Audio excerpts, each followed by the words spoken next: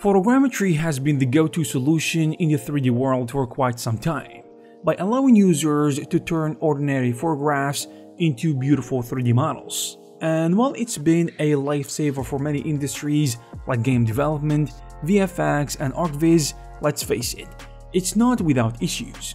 From waiting for hours for the process to complete to getting awful 3D scans in some cases, which make it sometimes a real headache. But there is a new technology that is about to shake things up, and it is called Nerf. This revolutionary technology has the potential to transform 3D scanning as we know it, by creating stunning 3D models faster and more accurately compared to ever before. So in today's video, we're gonna explore this brand new technology and what makes it different compared to traditional 3D scanning. Before we continue, if you're interested in learning more about 3D and photogrammetry, I recommend you try Skillshare. You may know Skillshare for photography, video editing, and illustration classes, but it actually has many animation, game development, and VFX focused stuff. For example, Smith Sculpt on Skillshare or just Smith on YouTube created this great course on photogrammetry using only your phone and reality capture. This class is aimed at anyone and everyone, whether you are experienced or just want to get your feet wet with the first time using only a phone and some free software. And the great thing is, you can access all of them great classes, all with the price of less than one course every month, let alone the ton of other classes at your disposal. So the first 1000 people to click the link in the description will get a 1 month free trial of Skillshare Premium membership. Nerf generates a flexible and dynamic structure called a radiance field by utilizing the power of machine learning. And just like photogrammetry, this enables us to generate photorealistic 3D representations from images and also videos. This radiance field allows us to see a render of objects from any angle, even those that were not captured in the original input data, as it guesses how the missing viewpoints will look like and this is what's scary and exciting about it. Nerf and photogrammetry offer different pros and cons. One of the main benefits of Nerf is its efficiency and speed, as it is faster and a more intelligent technique so to speak. It can create a 3D model from just few images compared to photogrammetry which requires a large number of high quality photos from the biggest amount of angles. Additionally, Nerf can capture dynamic objects in motion, in other terms, animated models, while traditional 3D scanning is limited to static object. This is because Nerf can use videos as input as we previously mentioned. However, photogrammetry remains widely used and understood in various industries. Plus, it offers more universal file formats, making it a tried and tested alternative for those who prefer a more established approach.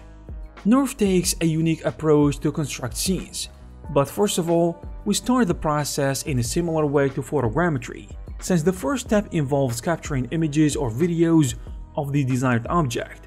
While it doesn't have to be the same amount of photos compared to photogrammetry, it never hurts to have extra data.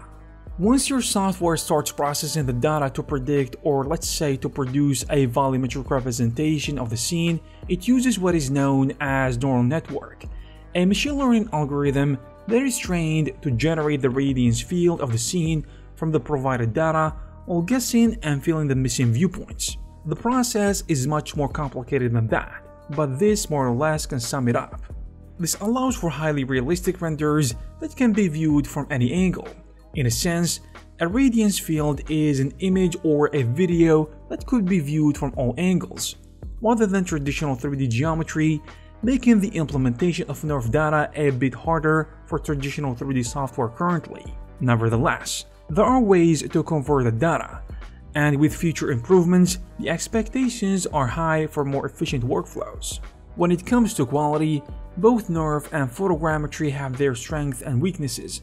Generally speaking, Nerf produces highly realistic and detailed 3D renders, especially for objects with complex geometry and appearance.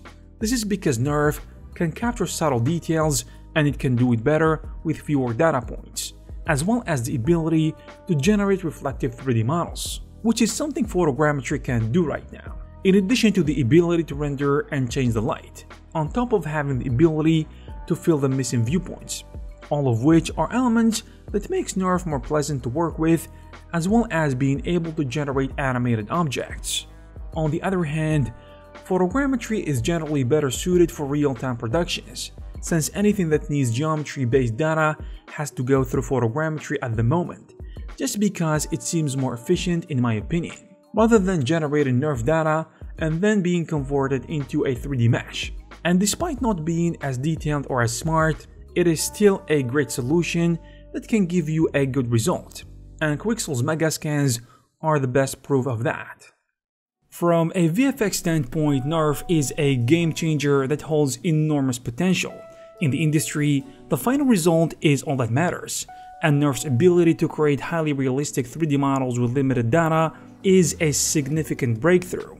By leveraging Nerf, VFX artists can generate stunning 3D models with a speed and a degree of accuracy and detail that was previously impossible, which they can then use to create worlds or backgrounds or even hero assets. It also enables us to integrate real-life filming locations into the digital realm, which makes the possibilities of creative expansions endless, because it's much easier to integrate CGI that way especially when we add some Nerf's features such as relighting, as well as making tasks like tracking much more pleasant in general, at least in theory. And even though the current motion technology is limited, imagine the possibilities of capturing the entire scene of actors performing in 3D. The idea itself is mind-blowing, but only time will tell how effective it will be. In the world of gaming, however, integrating new technologies can be a challenge, when it comes to Nerf, the main obstacle is the fact that the game engines predominantly use 3D mesh, which are based on triangular faces, and Nerf being a different type of data makes it quite hard to integrate seamlessly. While there are ways to convert this data, the process of converting a Nerf model into geometry involve extracting the positional data from the Nerf model and using it to create a 3D mesh. While this method can be effective, it is not without its limitations, meaning you have to fix and optimize the generated geometry, which is anything other than straightforward. This presents a significant challenge for game developers who must invest additional time and effort to ensure that the models run smoothly without an issue. But despite these challenges, it is clear that Nerf technology has the potential to revolutionize the gaming industry, and with the time and continued development, it may be possible to create engines that are specifically designed to work with Nerf data, paving the way for a new generation of immersive and realistic gaming experience. In fact, we have something that is working towards this direction, which is the new technology of Unreal Engine 5 that allows us to bring meshes directly to the engine without optimization, retopology, or UVs, which is just amazing. So the path ahead might be difficult, but the rewards could be extraordinary, and it is exciting to think about the possibilities that the future can hold. On the other hand, when it comes to Nerf generated models, it is not all sunshine and rainbows. While these models can look incredibly realistic, there are significant challenges that we must overcome.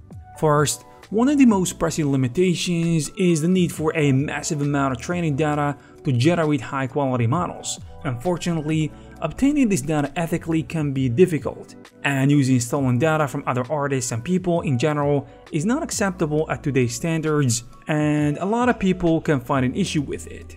Additionally, some inconsistencies in lighting and shadows can be a bit of a headache for users, but hey, that's a minor issue compared to the downright ugly artifacts that can arise from photogrammetry work. And while there have been some exciting innovations with Nerf's ability to capture motion scenes, there is still a long way to go in this area, and some heavy development is still required.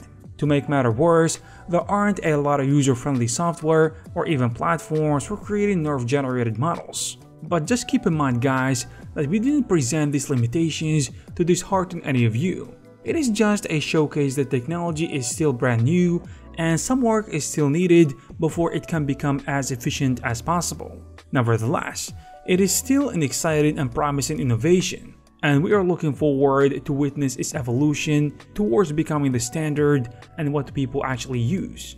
It's hard to deny that Nerf technology is a game changer when it comes to 3D, While some might argue that it is a replacement, I would say it is more of an upgrade. Think about it. Nerf provides all the benefits of photogrammetry with many added benefits. And of course, it's not like that photogrammetry is gonna disappear overnight, since it is a well-established part of many pipelines in different industries, and this is for a good reason, since it provides geometry-based meshes directly and it is easy to work with it. Having said that, while traditional photogrammetry may still have a place in some workflows, in my opinion, 3D scanning may be going in a different direction, which is the Nerf direction.